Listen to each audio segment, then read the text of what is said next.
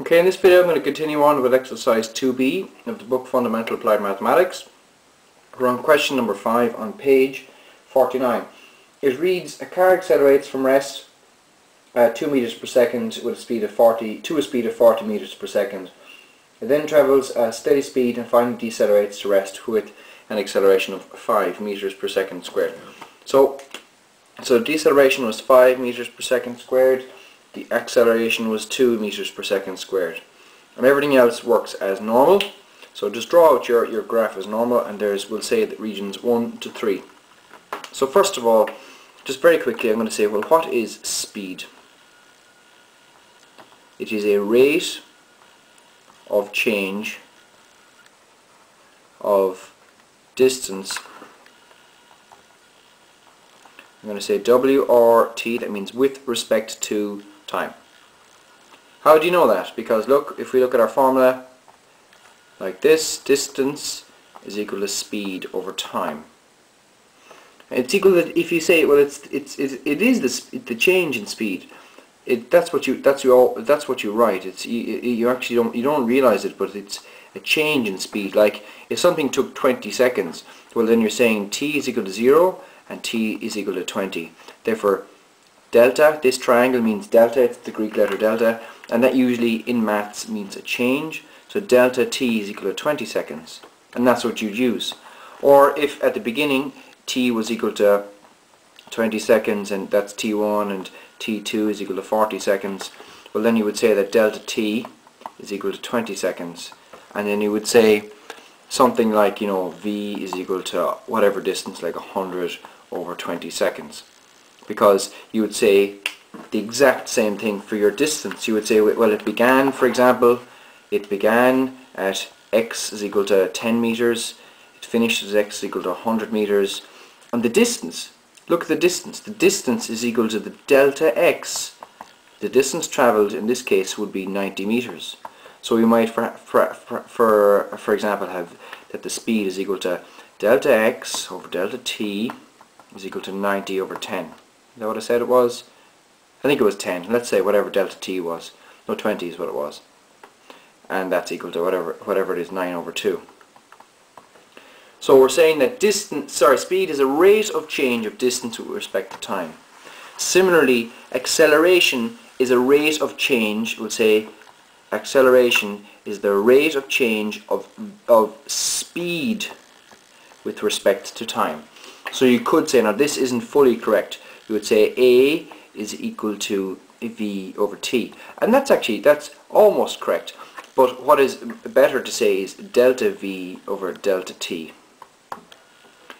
So now, I said delta V over delta T is a change. So it's what it, what it was at a later time against what it was at an earlier time or position. Now if you're doing a maths course everything is graphed. And we're graphing things. Sure, look, we graphed things up here.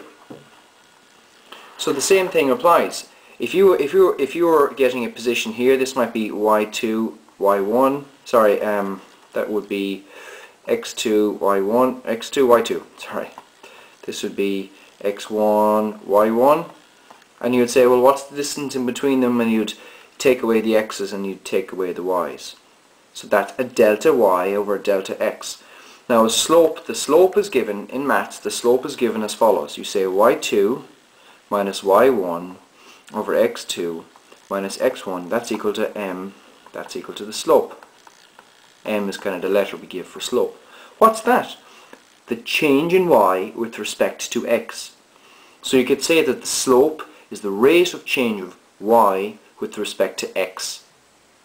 And look, what, what are we plotting up here? We're plotting t and v. So the rate of change of y, which is speed, with respect to t or x, which is time, is equal to the slope. So the rate of change of speed with respect to time is the slope of this graph. And what did we say? We said that, and I'm telling you that in this case, in a case of a velocity time graph, the slope is equal to the acceleration. Slopes can equal many different things, as in have physical meanings. But this, you know, another way of writing what I've written there would be delta y over delta x, triangle y over triangle x. Sorry, you can't see that. Like this. That is a slope and that's also equal to an acceleration. That's a slope and an acceleration. So how do we how do we get slopes? Well, we get slopes basically by using tan. Okay? So let me try this out here now, right? Let, let's try something here. Let's see, because like I said, I wasn't happy the way I explained it the last time. Say if I have a triangle. Say if I have a triangle. There are different ways of looking at this, but um, I'm after graphing something and I made a triangle out of it. We'll say this point is 20, uh, this and this one is, we'll say 5. So like that's 0, that's x is equal to 5, that's y is equal to 20, and so on.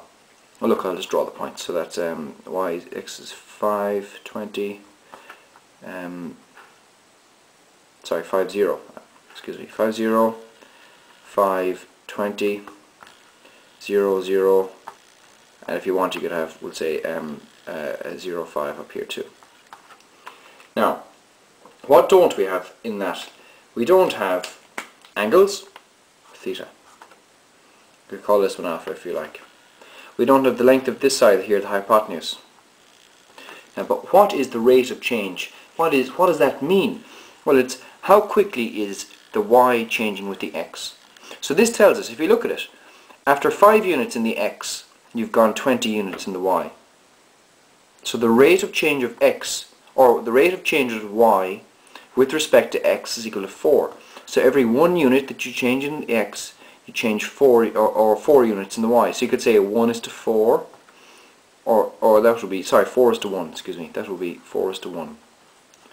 4 is to 1. But we, like we, we write, we'll say, instead of doing that, we often just write 4 over 1. If, if it was the other way, for example, say if the, the slope was uh, 0.25, it would be um, 1 is to 4 or a quarter. Look, I'll, I'll give an example as to wh where that could be in, in a moment. So we're saying, like, you should be able to see, well, look, how I, the x is changing a certain amount, the y is changing a certain amount, the y is changing with respect to x by the ratio of the two. So, but look, what is the ratio? If you look at SOHCAHTOA, I'm going to single out one of those here, tangent. Tangent is equal to opposite over adjacent. So tan theta is equal to opposite over adjacent. But what did we say opposite over adjacent was a second ago? We said it was the slope. Because look, we said the slope was the rate of change of y with respect to x. So every 20 units in the y, you change 5 units in the x, Therefore your slope is equal to 4. Opposite over adjacent. You can see how they how they main uh, how they uh, how they match up. So another way of getting the, the acceleration without using UVAST is tan.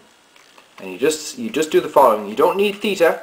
You just say tan theta is equal to m is equal to slope is equal to acceleration. like that. Then you'd say tan theta is equal to opposite over adjacent. You'd say tan theta is equal to 20 over 4 or over 5, excuse me, is equal to 4. Therefore the acceleration is equal to 4. Right? So I'm just after giving an example. Let's see, using the current question, does that stand up to scrutiny? So the current question, we have a triangle whereby we have the following. We know that this is 40, so the length of this side is 40. We know the length of this side is 20. I'm going to call this angle here theta. So tan theta